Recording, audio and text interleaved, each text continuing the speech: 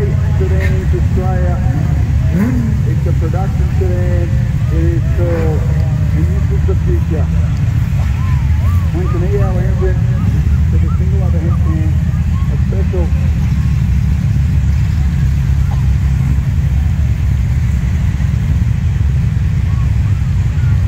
a special K-frame to, allow the engine to fit in there and there's all measurements and all that kind of stuff. So jury will be out on that.